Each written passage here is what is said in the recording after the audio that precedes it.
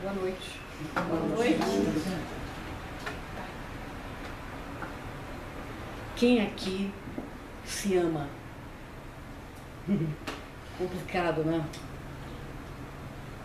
E o auto perdão é um tema que a gente fica refletindo que no caso dessa imagem que está aí, vocês reconhecem? Maria Magdala, Maria de Madalena, alto perdão, alto amor.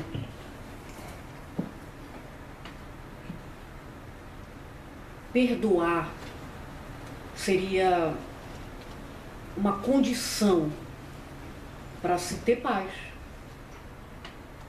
Perdoar, é, a palavra perdoar, per é percorrer, é o caminho, é, um, é um, uma expressão que vem de Roma, que significa você vai para algum lugar. Todas as, é um hífen, né? Todas as palavras, todas as palavras que tem o per, percorrer, então seria um caminho. Então o perdão, no caso, seria um processo de doação. Né? Um processo de doação. Mas nós vamos raciocinar hoje que o perdão aos, ao próximo, que nós vamos ler depois, aquela conversa de Simão Pedro com Jesus. Mestre, lembra?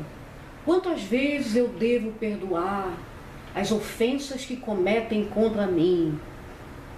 Aí Jesus, ah, em verdade, em verdade vos digo, que perdoar não sete vezes, mas setenta vezes sete. Aí a gente até poderia pensar que multiplicando 70 vezes 7 daria 490, seriam 490 vezes, mas aí não é a mensagem, não é o ponto. E por que falamos de, desse perdão? Porque o perdão externo, ele só pode ser efetivado quando há um perdão interno. Quando começamos, começarmos a entender que tudo é reflexo de nós, o que somos na rua é reflexo de o que cultivamos em nós. No movimento espírita, a gente está ainda engatinhando nesses conceitos que a Joana de Angeli trouxe, que tem tantos agora palestrantes, psicólogos, trazendo para nós entendermos o que está acontecendo realmente no mundo. Tanto se fala em paz. E será que as pessoas sentem a paz? Tanto se prega, tanto se lê. E cadê o sentir e o viver? Cadê colocar na prática o que se está falando, o que se está lendo? Então, o Alírio Cerqueira, quem conhece os livros dele, né, de Mato Grosso, ele, ele tem um triângulo. Na maioria dos livros ele coloca muito essa, essa didática. No topo, saber, para cá, para vocês que estão aí, é o sentir no triângulo e aqui é o viver, ou seria vivenciar. Então nós temos que, na verdade, entre o saber e o sentir, né, nós temos que decidir que queremos sentir. Nós temos que decidir porque é um cultivo. E quem vai cultivar isso? Onde se cultiva? Quem vai cultivar sou eu e cultivo dentro de mim.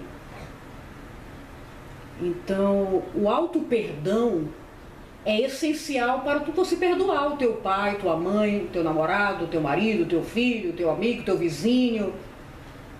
Isso que a gente não vai entrar o teu abusador, talvez, né? perdoar as pessoas que te abandonaram, uma pessoa que te maltratou no orfanato.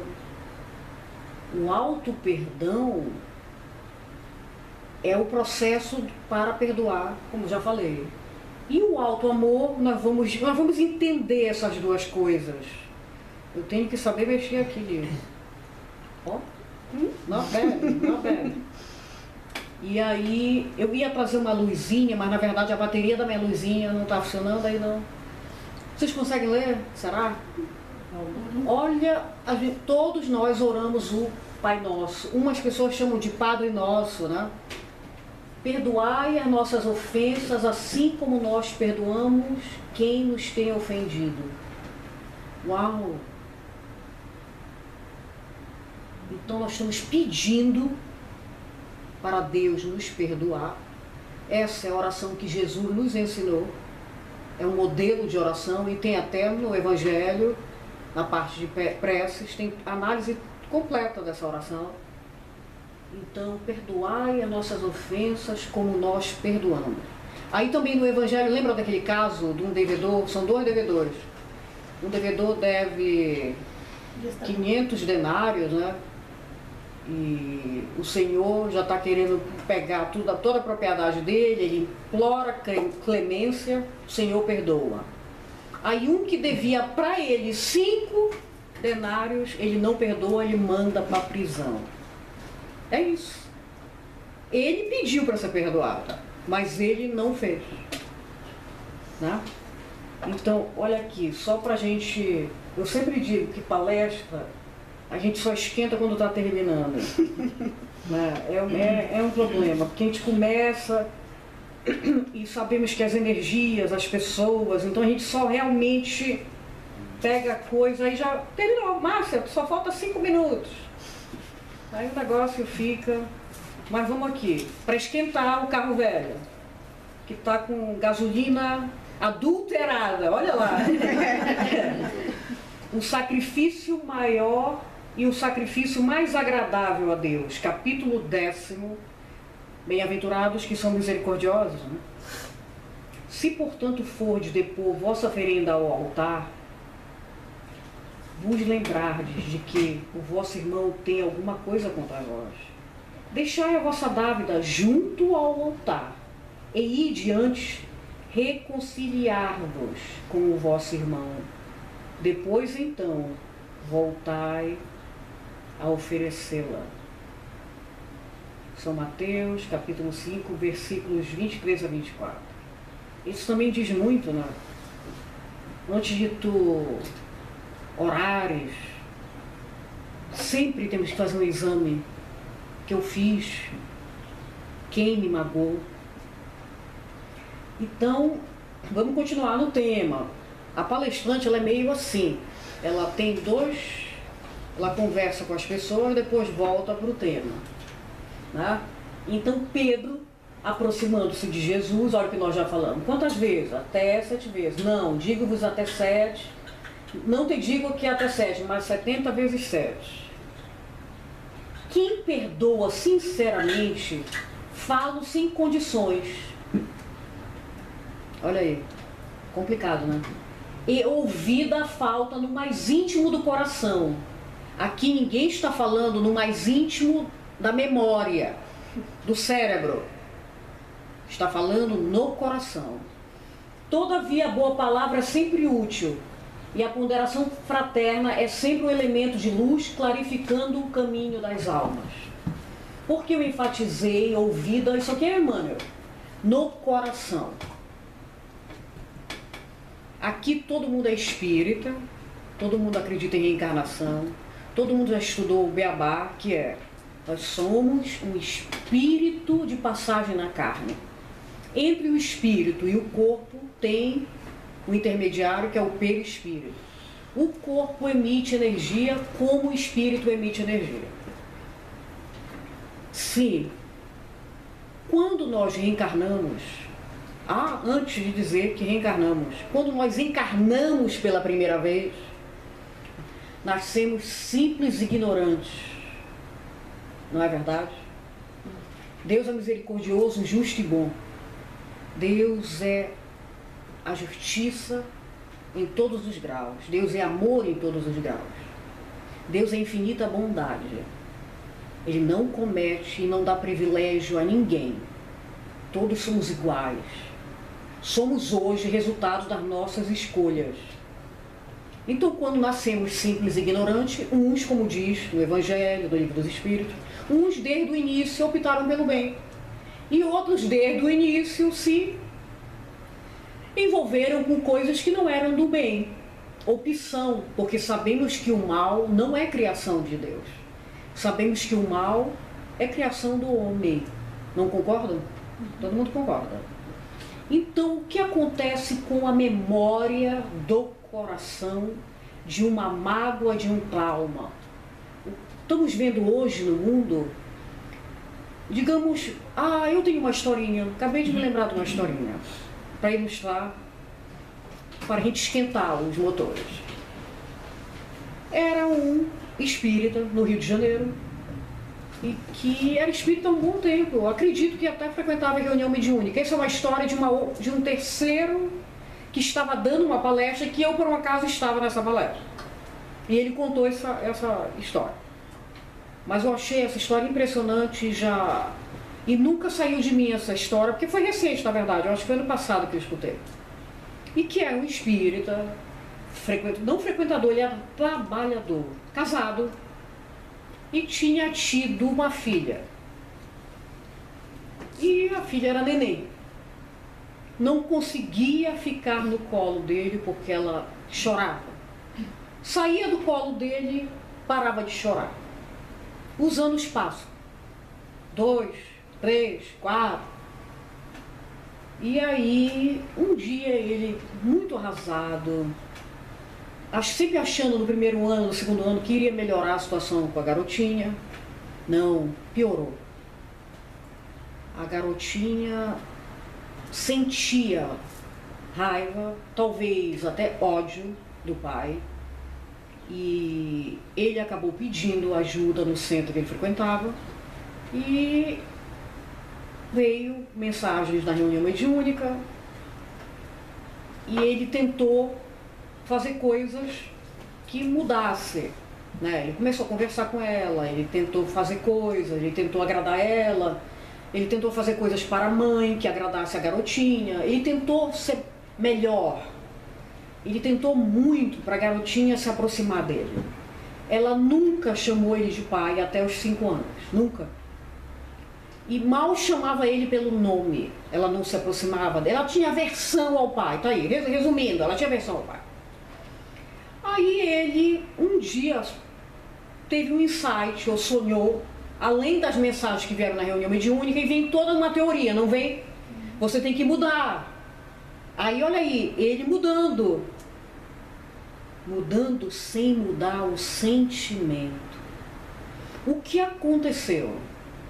Ele entendeu que mesmo que ele não se lembrasse, que mesmo que a lembrança do fato do que ele tinha feito para a filha não vinha, dessa forma ele teria que mudar de dentro para fora para a garotinha confiar nele. Não é o que Jesus nos pede o tempo inteiro? Que temos que ser verdadeiros, que o Espiritismo veio para nos trazer o cristianismo redivivo em espírito e verdade que não adianta dizer Senhor, Senhor, colocar a tua oferenda se tu não sentires. O que aconteceu com este senhor, pai desta menina? Ele realmente passava horas dizendo para ela: Eu te amo, eu não sou mais aquele, me perdoa, me desculpa, confia em mim, Uau! Ele não tem os dados do fato. Ele tem as emoções da filha mostrando que algo ele fez que foi grave. Alguém tá, tá, tá, tem dúvida do, né? Então, olha o que acontece. O que acontece é que a memória do coração, ela não vem com a memória do cognitivo. Então nós reencarnamos e trazemos muito lixo emocional. Muitos de nós não entendem por que agimos dessa forma. Porque não está no racional. Deus não é misericordioso, justo e bom. Você já imaginou, além de você trazer um núcleo no subconsciente, ali embaixo no purão, no inconsciente, talvez até no consciente, mas que você vive em denial, na negação, você não quer ver o teu lado, sombra. Aí você, além de trazer essas emoções, lá trazer a memória, uau, Débora, me desculpa, eu mandei queimar você e sua família. Por isso que eu estou aqui no Ceará. Então eu estou aqui me redimindo. Já imaginou que eu estou vendo que eu queimei a família, que eu estou sentindo? Uau, seria demais para nós. Né? Então nós temos que decodificar quem nós somos. Na verdade, não é nem o que os outros estão fazendo para nós. É nós que não queremos nada. Nós não queremos ter trabalho. Outro dia eu escutei uma, escutei uma palestra do Rossando. Eu falei isso até outro dia. E ele contando que um amigo dele, que é endocrinologista, recebe paciente que diz, quer emagrecer. Uau, que máxima! Mas eu realmente quero emagrecer, mas sem fazer dieta. Me dá um remédio. Uau, seria ótimo, né? Eu quero evoluir. Eu quero ser caridosa, mas não quero ter trabalho. E a vida não é assim. Não é assim. O perdão sincero é filho espontâneo do amor e, como tal, não exige reconhecimento de qualquer natureza. Portanto, quando alguém perdoa, não deve mostrar a superioridade de seus sentimentos, para que o culpado seja levado a arrepender-se da falta cometida. Olha o, impropósito, total falta de. Uau, tu estás, tu estás tendo aí um momento em que você se colocou de uma forma humilde, te coloca numa forma humilde, com um behavior arrogante, com um comportamento arrogante, já não combinou também. Uhum. Então, nós vamos, como a, como a Débora disse antes, nós vamos aqui sair compreendendo, eu espero. espero que a palestrante consiga. Essa aqui ficou muito pequenina.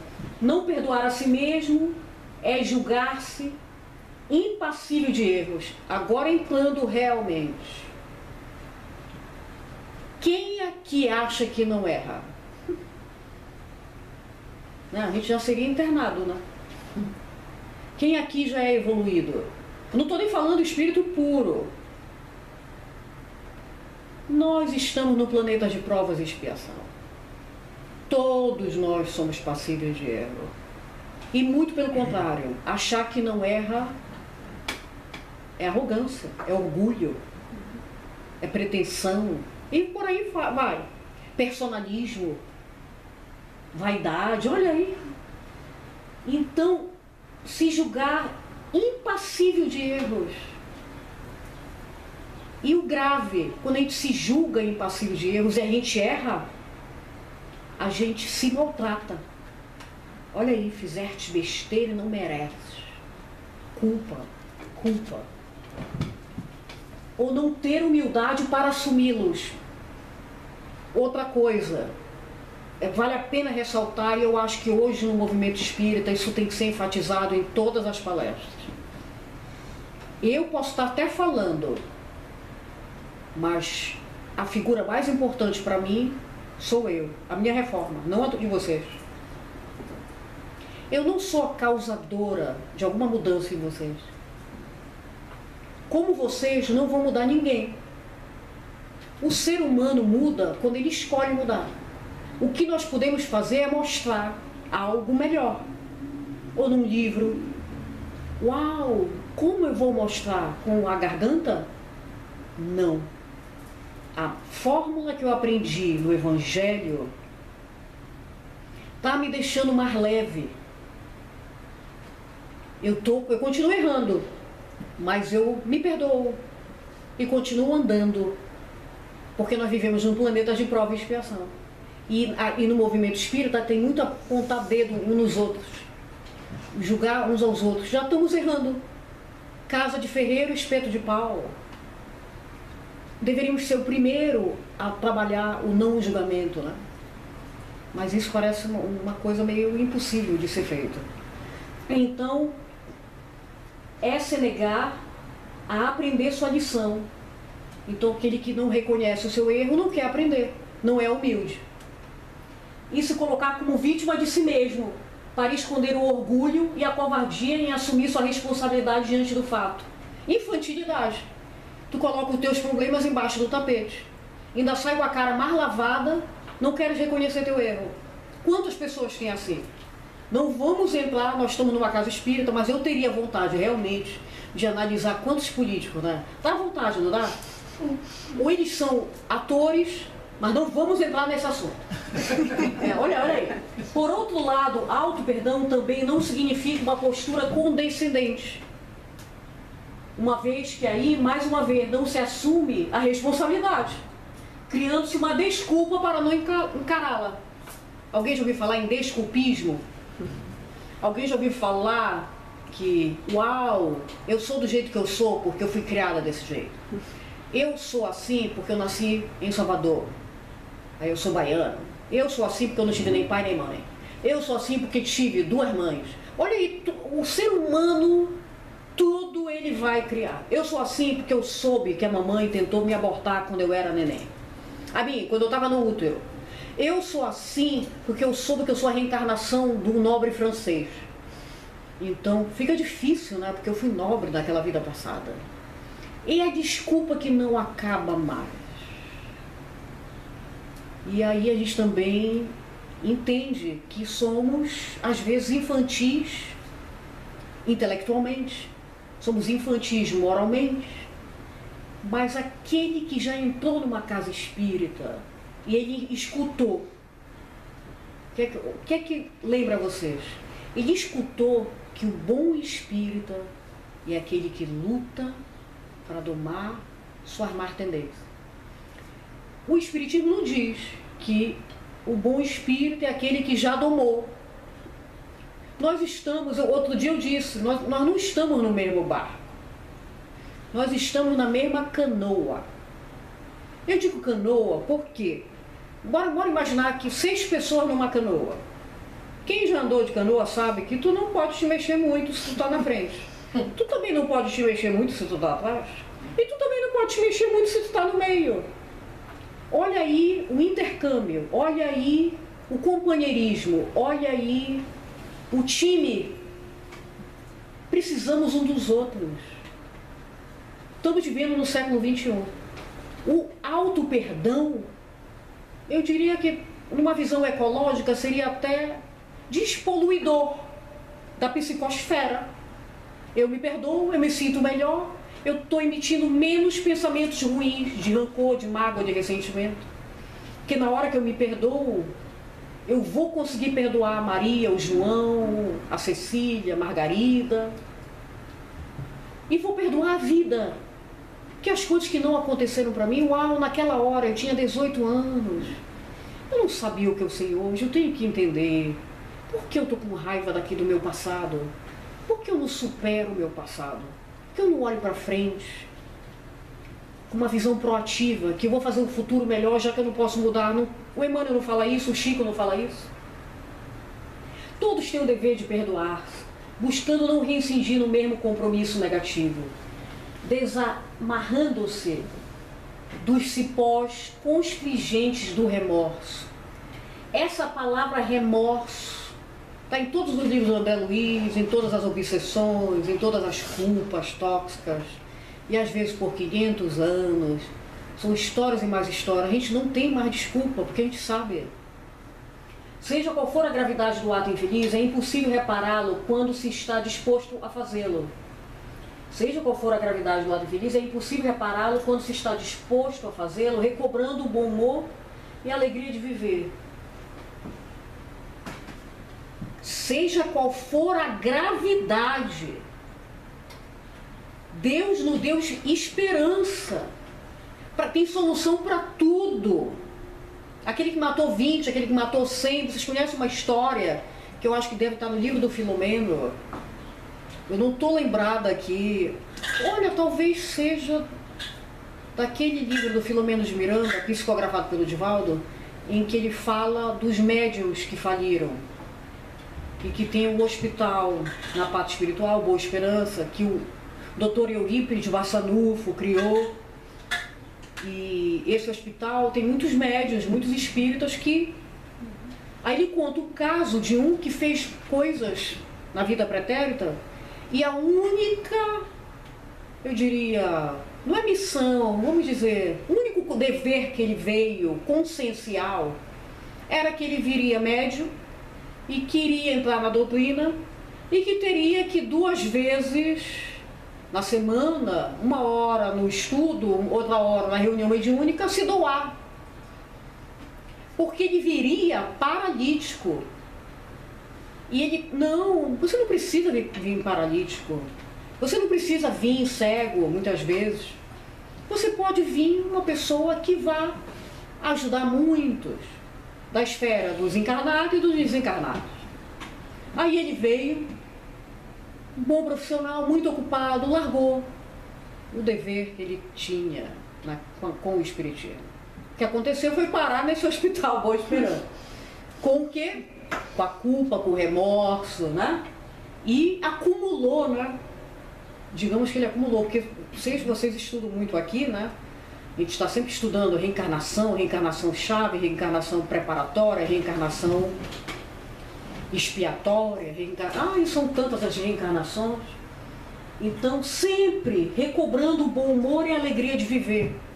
Você não conhece um rapaz que tem um vídeo que circula na internet há alguns anos, ele não tem nem braço nem perna? Uhum. Uhum. E ele é alegre? Sim. Né?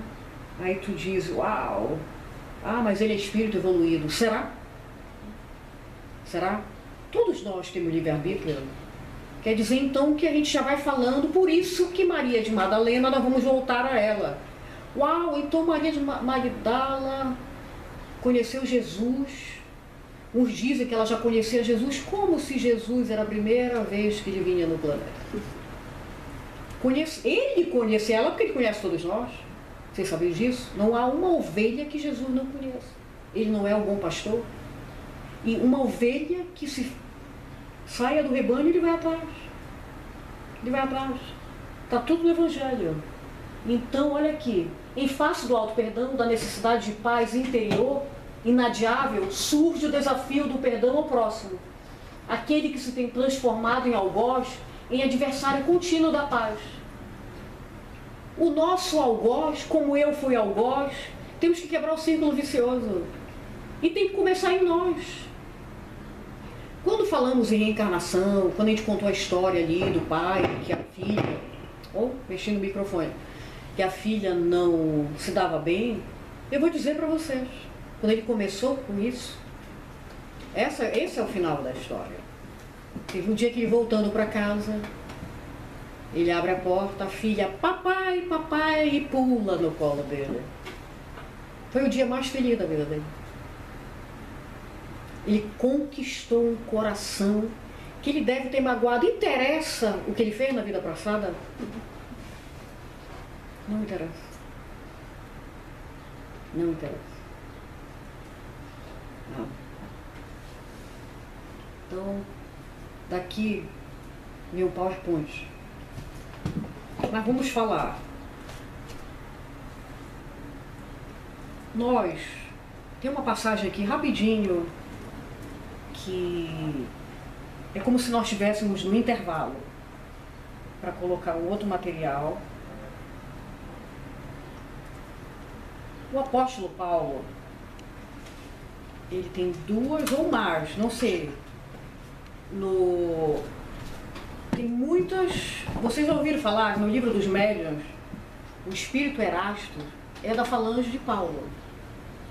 E no Evangelho no final do capítulo 15, fora da caridade de nossa salvação, lembra que tem a mensagem necessidade da caridade segundo São Paulo, né, ainda que eu falasse a língua dos homens, mas no finalzinho desse capítulo, no último item, ele vem explicando, ele está com uma instrução dos espíritos, fora da caridade de nossa salvação.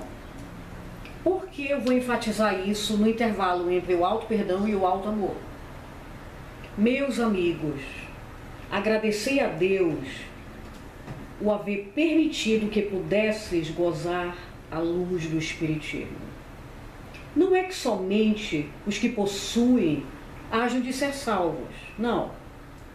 É que, ajudando-vos a compreender os ensinos do Cristo, ela, a doutrina espírita, né, vos faz melhores cristãos Esforçai-vos, pois, para que vossos irmãos, observando-os, sejam induzidos a reconhecer que o verdadeiro espírita e o verdadeiro cristão são uma só e a mesma coisa, dado que todos quantos praticam a caridade são discípulos de Jesus, sem embargo da seita a que pertence. Paulo, apóstolo, Paris, 1860, em que o espírita, o verdadeiro espírito, o verdadeiro cristão, é a mesma coisa. A gente já leu isso no capítulo Seja Perfeito, né? quando vem o que é um homem de bem e o que é um bom espírito. Então agora o alto amor. A fatalidade da vida é alcançar a harmonia plena mediante o equilíbrio do amor a si mesmo, ao próximo e a Deus. Um mandamento maior. Amar a, o teu Deus de todo o teu coração, de toda a tua alma, e a teu próximo como a si mesmo. Jesus disse: Eu não vim destruir a lei. Não é verdade? O Pentateuco Espírita começou com o livro dos Espíritos, 1857. O, o livro dos Espíritos teve uma missão de trazer a filosofia, mas se você prestar atenção, todos os outros livros estão em germe no livro dos Espíritos. Porque tem a parte da lei morais, tem a parte da justiça, e no final do livro dos Espíritos tem aquele capítulo de amor, de justiça e caridade. Que essa é a lei maior. Justiça, amor e caridade. Cada um, às vezes um fala de amor, justiça e caridade, outros falam justiça, amor e caridade. Amar a teu Deus, como seria isso? É só uma retórica? É só, um, é só uma, uma fala? Ou será que eu vou amar a Deus quando eu amar a mim mesmo e amar ao próximo? Não é? Então, quando eu amo a mim mesmo, eu já estou meio caminho de amar a Deus.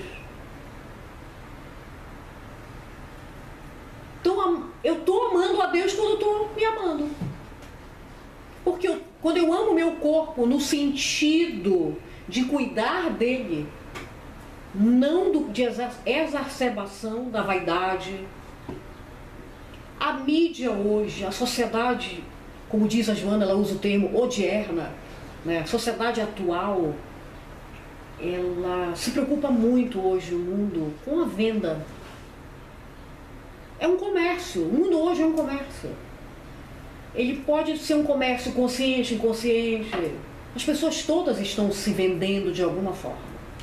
Vendendo um verbo, vendendo uma ideia, vendendo um programa de computador, vendendo um computador, vendendo uma revista, vendendo, vendendo, vendendo. E sem querer, às vezes o adolescente ele pega essa coisa do marketing, eu quero moda. Aí você diria, isso é alto amor? Querer ser igual a todo mundo? O dia que entendermos que sermos iguais nos sentidos dos deveres e direitos, mas sermos diferentes como alma, como um caminho individual, o meu caminho não é igual ao da Teresa. O meu caminho não é igual ao da minha irmã porque nós nascemos simples e ignorantes e talvez quando eu estava ali, no início das minhas reencarnações, as minhas opções foram esdrúxulas. As minhas opções foram de desajuste moral. As minhas opções foram de autoflagelo. E a minha irmã talvez não, desde o início. Mãe, boa filha, boa irmã, boa tia, boa, boa, boa, boa. Então cada um nós, nós vamos entender que não há amor a Deus sem amar. Como eu vou me amar? O que é o alto amor? Alguém arrisca? Alto amor é caminhar para Deus. Lembra daquela passagem? Vinde a mim, todos vós que estáis aflitos e sobrecarregados, que eu vos aliviarei. todos nós que buscamos com sinceridade o alívio, a gente vai encontrar amando a si mesmo, ao próximo e a Deus. O alívio moral, ele só acontece quando nós somos bons. E bom não é o divertimento, não é a gargalhada. Ser bom é ser generoso. Ser bom é perdoar. Ser bom é gostar de viver. Coisa muito simples. Ser bom não tem nada a ver com tu dares muitas coisas materiais. Lembra daquela passagem daquele que era muito rico? Está no Evangelho. Eu tinha até marcado, mas eu estou vendo que o, te o, tempo se esvai, né? A gente só esquenta no, na segunda parte. Que um era de, com condições e dava muito. E o outro não tinha condições e dava pouco. Aí veio já na vida espiritual para o peso. Quem foi que deu mais? Né? Era óbvio que para os olhos da carne, aquele que era muito rico, ele deu muito mais. Aí está ali o Senhor pesando e diz: Irmão, você deu daquilo que lhe sobrava. Então, aos olhos de Deus, tem muito mérito, mas isso não se chama caridade. Chamou aquele que tinha pouco e disse: Uau, a sua sacola é muito pesada, porque você deu daquilo que iria lhe faltar. Você deu pelo sentimento de compaixão. Já que eu tenho alguma coisa, eu vou dividir o que eu tenho. Não significa que seja material. A maior carência, como diz Madre Teresa de Calcutá, é a falta de amor. E quando eu digo falta de amor, não significa que seja um miserável na rua. É o teu filho adolescente num quarto. É a tua avó num asilo. É o teu irmão que tu nunca ligaste. É o teu parente. Ontem eu estive com uma amiga que ela disse que a irmã dela não liga para ela. As duas moram aqui na América. Eu, aí eu fico, o que eu posso fazer? Porque eu disse para ela, procura a tua irmã. A ela, ela não gosta de mim. É complicado, porque ela, em tese, seria a que tem que fazer a aproximação, porque ela é espírita. Mas a gente não pode cobrar dos outros. É a nossa consciência. Alto amor é caminhar para Deus. Alírio Cerqueira, em vários livros, no Saúde Espiritual, nesse outro aqui, que é Modelos de Liderança e Trabalho, ele fala que tem três etapas para sermos felizes. Querer ser aprendiz da mansidão, querer ser aprendiz do Evangelho, querer ser aprendiz da bondade que vai te dar paz. Esse querer tem que ser real. Essa é a virtude condição, primeira fase. A virtude meio para chegar na virtude absoluta, que seria a felicidade espiritual que um dia teremos, ela precisa da virtude meio.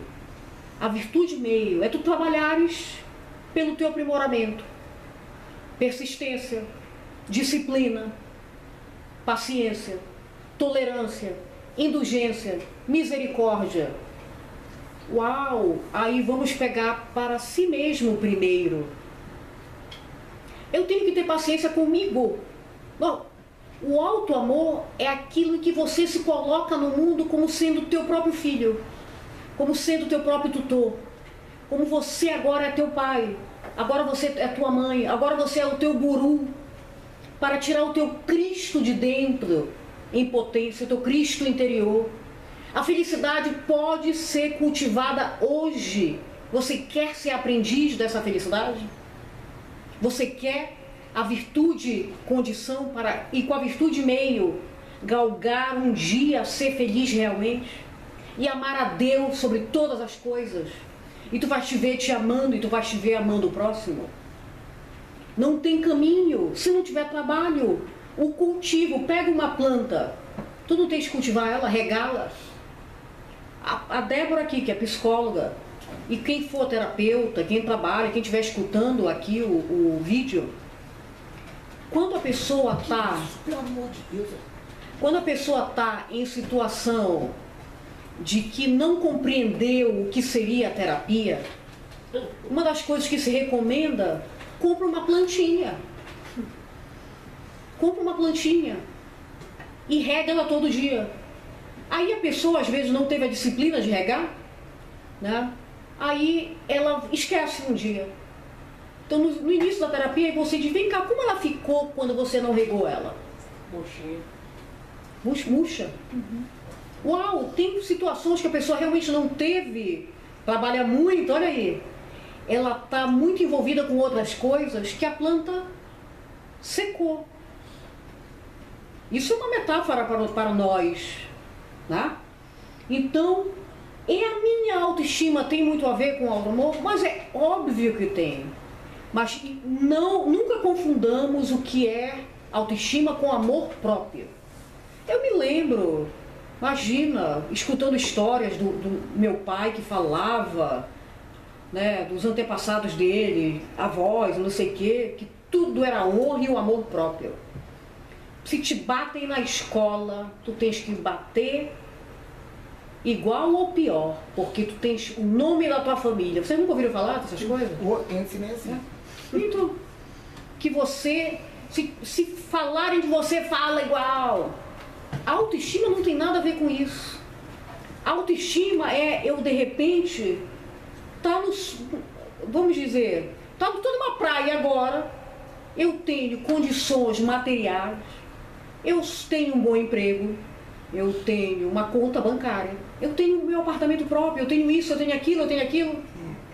E me sinto um lixo. Isso é a baixa autoestima. E o inverso é verdadeiro. Eu posso ser um mendigo com uma boa autoestima. Porque eu não tenho raiva de ser mendigo. Eu não tenho, eu não quero imitar ninguém. É uma opção minha. Porque eu, eu pessoalmente, eu sirvo comida para homeless em Nova York há muitos anos e vejo que tem muitos que optaram e estão muito bem porque eles querem liberdade, em, em, alto grau de liberdade. Eles querem fazer o que eles querem no sentido que eles não querem, eles não estão nem aí para a sociedade. É uma opção de vida.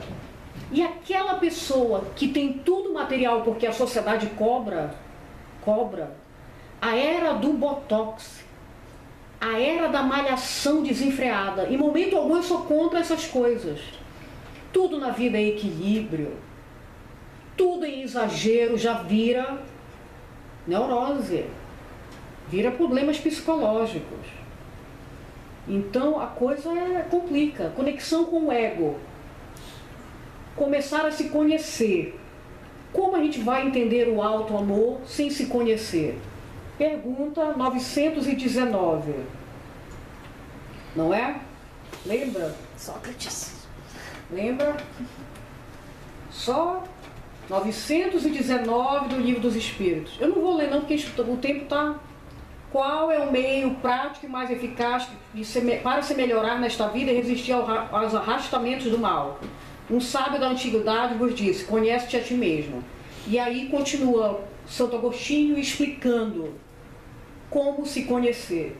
Existe auto-perdão sem se autoconhecer? Não. Porque como eu vou pedir desculpa para uma pessoa? Como eu vou pedir desculpa para mim mesmo? Se eu não sei nem se eu fiz algo errado. Se eu não sei nem se eu estou me maltratando. Me perdoem também as pessoas que também estariam na internet, estão ou vão estar. Às vezes, a obesidade às vezes a drogadição, às vezes a, o trabalho, o fanatismo de trabalho, o fanatismo por ganhar dinheiro, está escondendo muitas dores e você nem as conhece. Porque nós temos dores escondidas, nós temos dores que nós não negamos a ver. O ego se defende. Então a conexão com o ego saudável é você realmente virar sua mãe e seu pai tem processos terapêuticos que fazem nós visualizarmos e até nós podemos fazer isso com a gente. Ah, eu vou me imaginar agora que eu estou nascendo, que o meu nascimento foi lindo. E você, você vai reprogramando. Existe aí a neurolinguística, existe meditações, existe visualizações terapêuticas. Se você acha que a tua infância foi muito difícil, se você foi realmente abusado, maltratado, esquecido, tem situações realmente horríveis, patológicas dos pais que, se a gente souber, a, gente, a gente sabe de histórias, tem aí no, em São Paulo o Hospital Espírita André Luiz, né? E que são histórias às vezes horrorosas, que crianças passaram por situações horrorosas. Então, olha, mergulho dentro de nós mesmos. Por que eu sou assim? Tomar responsabilidade, não se achar vítima, estudar as emoções. Como eu posso ter indulgência comigo se eu não me conhecer? Se eu não estudar, eu a mim mesmo. Eu vou dar um exemplo que eu dei até terça-feira passada. Na época do, do processo político no Brasil, sem entrar em detalhes, no dia, muitas pessoas que eu conhecia estavam muito felizes né, com a coisa que estava acontecendo, outros estavam muito decepcionados com o nível, o nível sociocultural, psicológico dos representantes do povo. E outros estavam realmente em estado de raiva, ódio. E por um acaso eu tenho uma pessoa que eu amo muito que estava do outro lado. E eu comecei a deixar para fora o ego, né, que eu queria impor, a minha visão, queria impor, queria impor, queria impor. Até que começamos a falar eu para minha sobrinha, minha sobrinha para mim, coisas que depois de cinco minutos eu não acreditei que eu tinha falado. Uma sobrinha que tinha acabado de nascer quando eu peguei ela com horas de nascido e a minha irmã fez uma cesariana e que eu amo de paixão, que no momento está grávida então eu amo ela, ela sabe o amor. E eu não consegui dormir. É, eu me senti muito mal.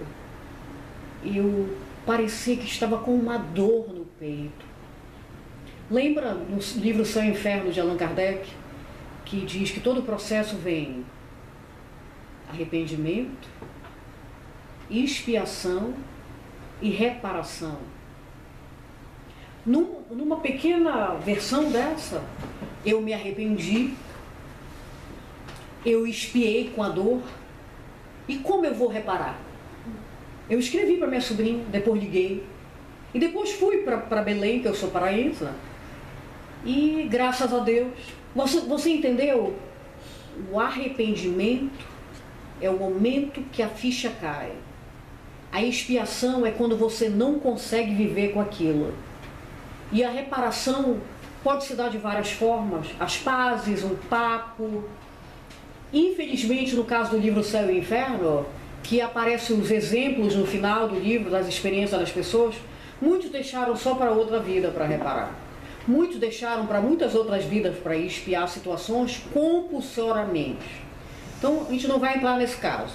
O que eu quero dizer é que no momento que eu me arrependi, no momento que eu espiei e no momento que eu efetivei, pedindo desculpa e dizendo para minha sobrinha que o meu melhor eu não tinha feito, que o meu melhor é sempre entender que eu não posso julgar, que eu não posso mudar as pessoas, que ela tem o um livre-arbítrio e que eu tenho que amar ela independente das opções dela.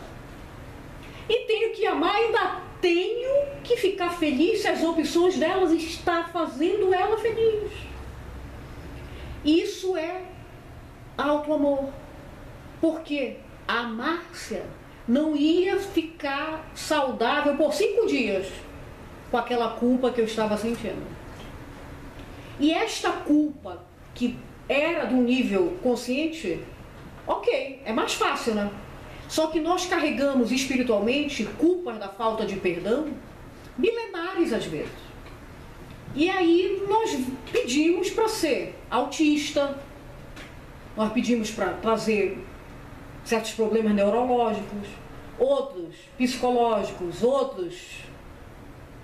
E são muitos problemas, e cada um na sua esfera. Uns às vezes estão na esfera do perispírito, que podem ser tratados, outros estão no corpo, outros estão na alma, e no, você não vai conseguir diagnosticar mas aí tem remédios homeopáticos, tem florais, aí você procura a medicina holística. Você vê a diferença? Quando a coisa é no corpo, é mais fácil você ir para a alopatia. Quando a coisa é no perispírito, talvez uma meditação, um tratamento espiritual. Mas quando a coisa é profunda na alma, pânicos, síndromes, e por aí vai, situações gravíssimas de medo, fobias, Pessoas que não saem do quarto por anos. aqueles que são acumuladores, coisas graves. Né? Então, é, e por isso que eu trouxe esse, esse slide daqui do corpo, do duplo etérico, do perispírito, aqui o corpo mental e o espírito. Porque nós fizemos uma palestra sobre doença, sobre saúde espiritual. Então esse, esse slide é muito importante para esse tema. Mas o que, é que tem a ver também com o alto perdão e com o alto amor? Quando nós não perdoamos, nós desequilibramos toda a nossa estrutura perispiritual. E quando carregamos uma mágoa por 20, 30 anos, ela se transforma em doenças no corpo. O doutor Deepak Chopra, quando exercia a profissão aqui em Nova York, ele dizia que 80% dos pacientes dele, do problemas de coração, na cardiologia, não tinham perdoado. Eles guardavam muita raiva. E é o chakra, olha aqui, é o chakra do amor. É o chakra em que a, é a ligação entre os chakras, chakras mais ligados à vida material e os chakras ligados à vida espiritual. Então, se você está aqui, olha a conexão. Existiu um fato concreto, uma pessoa te magoou, uma pessoa fez alguma coisa para você. É concreto, não é real? Mas você espiritualmente tem a opção de isso não vai me perturbar. O fato existe. Mais uma vez, uma coisa é o material, outra coisa é o teu livre-arbítrio, porque Jesus disse: se te baterem numa face, entrega a outra face, dá a face do amor, não a da raiva. Perdoa 70 vezes 7. Entende que nenhum aqui encarnado ou desencarnado é perfeito. Jesus disse, quando aquele mancebo aproximou dele: Bom mestre, o que eu tenho que fazer para alcançar o reino dos céus? Ele foi logo dizendo: Bom? Quem te disse que eu sou bom? Bom só Deus que está nos céus. E nós temos a presunção que ninguém vai nos maltratar, que ninguém vai nos xingar.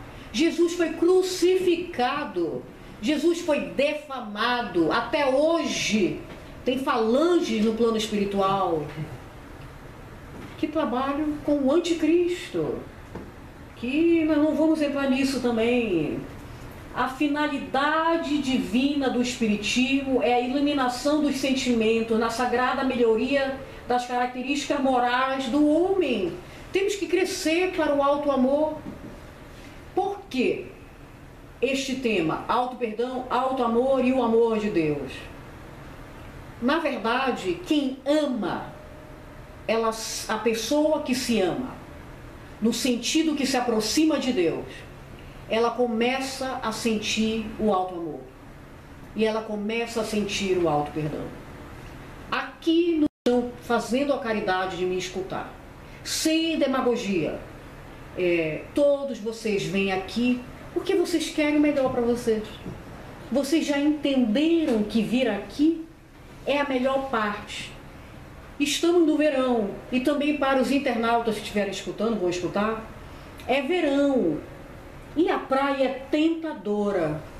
Entendo e gosto muito do mar, mas eu digo, a verdadeira felicidade é a da alma. O verão é fugaz.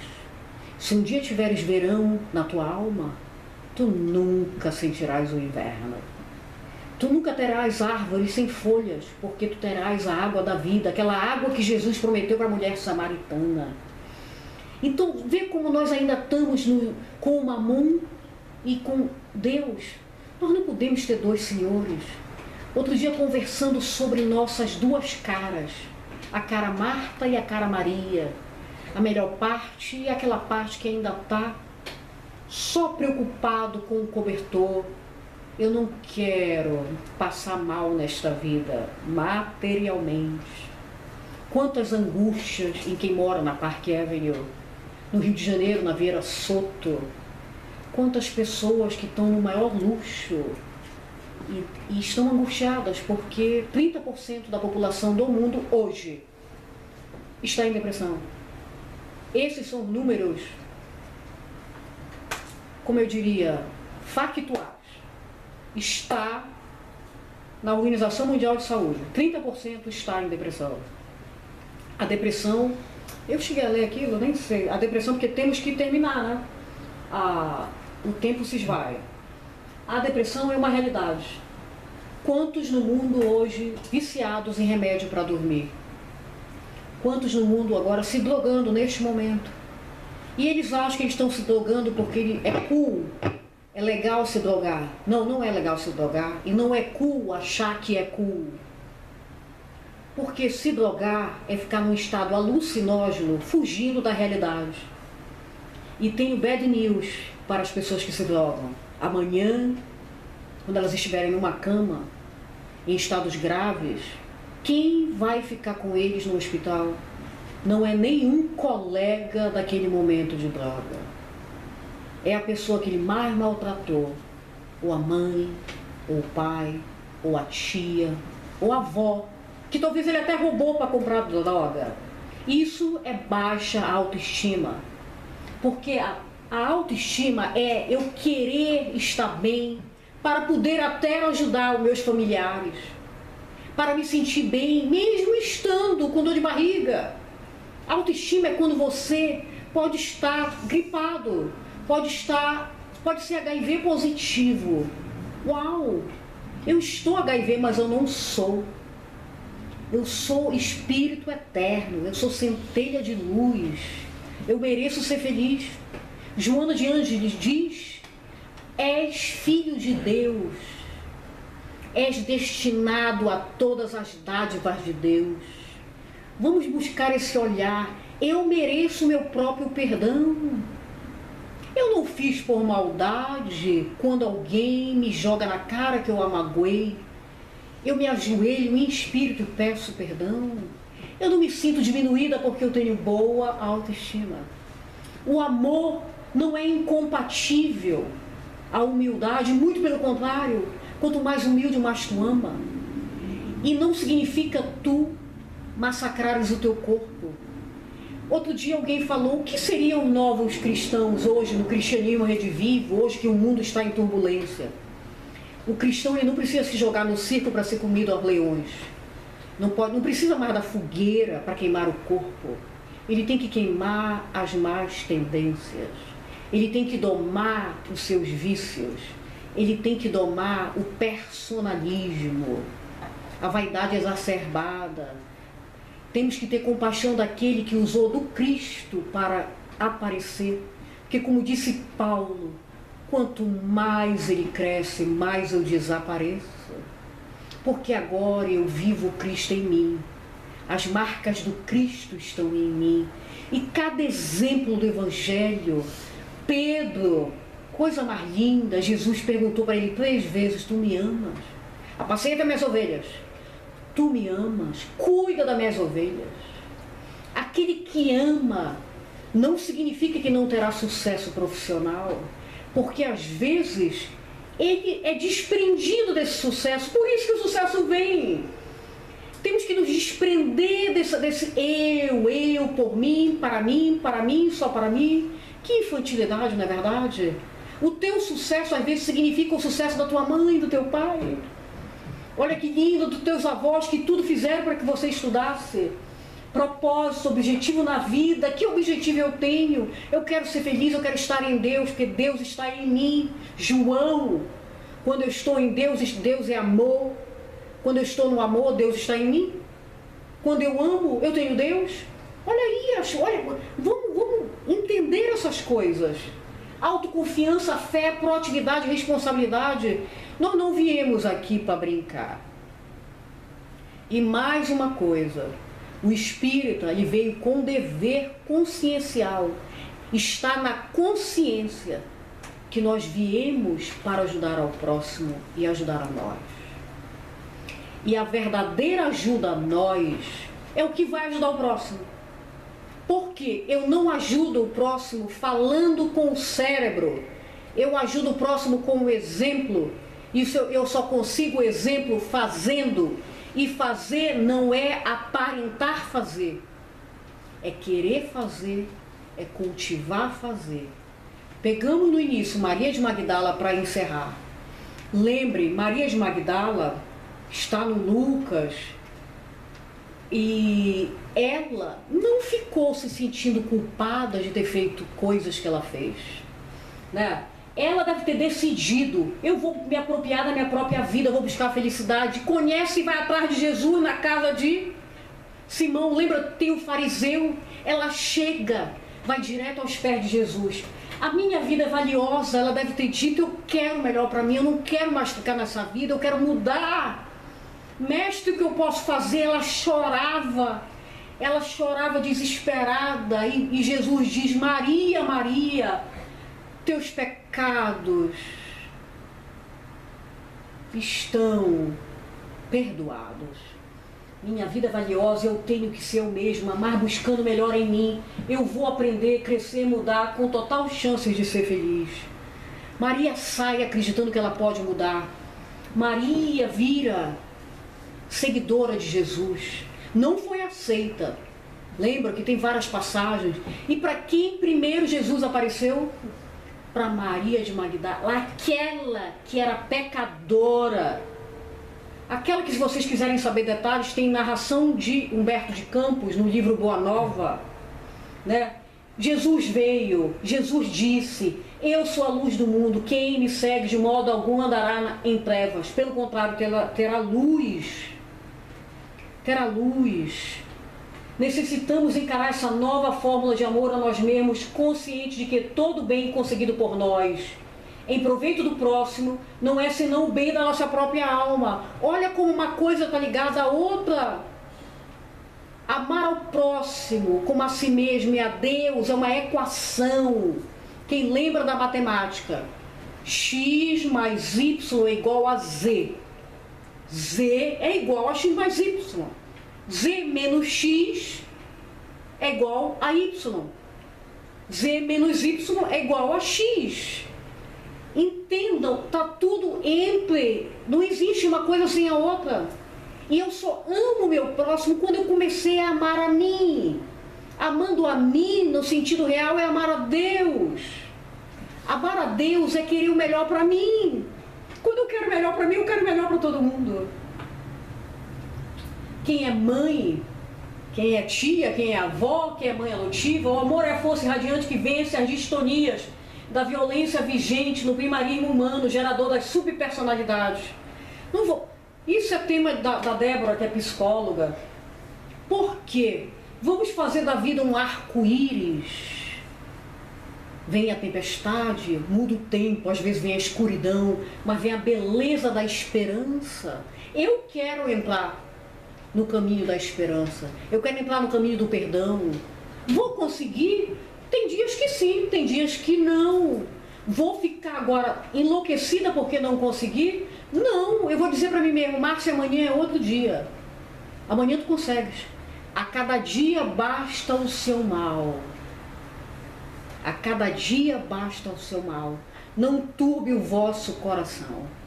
Que Jesus nos abençoe e que se auto-perdoar é ter uma visão que somos filhos de Deus e que todos nós somos ovelhas, ninguém é perfeito. Se pisarem no teu pé amanhã, vamos treinar, não responder, não revidar. Não é para mascarar uma raiva, não é nada disso. É para acolher a raiva, é para cultivar a mansidão e o amor. Tu acolhes a raiva e tu te tornas uma pessoa consciente de quem tu és, não mais irresponsável sobre tuas falhas. Se eu falo muito, eu tenho que ser consciente que tem momentos que eu vou ter que calar. Se eu já consegui, eu acredito que não. Posso, vocês vão poder perguntar para minha família, com certeza vão dizer que não. E então, cada um de nós temos que ser os construtores do amanhã, construindo quem? Eu só posso responder por mim. Eu tenho que construir uma Márcia melhor hoje do que eu fui ontem. E ter esperança, fé e ambição de que amanhã eu vou ser melhor. Mas é passe de mágica? Não, é muito trabalho. Não é os açoites que passou Pedro, não é chicotada que passou Paulo, não é as fogueiras que passou Allan Kardec. É agora o fogo do amor que nós temos obrigação no século XXI com essas crises que estamos passando. é mostrar outra face do carinho, do amor, da mansidão. Muito obrigado, que Jesus esteja conosco.